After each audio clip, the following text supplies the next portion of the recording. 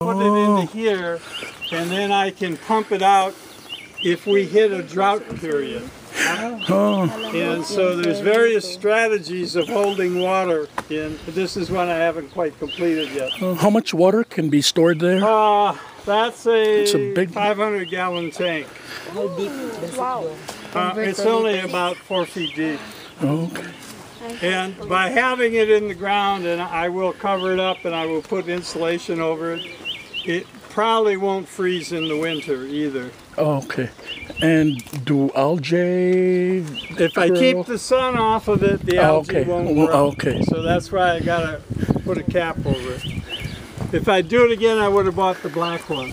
Uh -huh.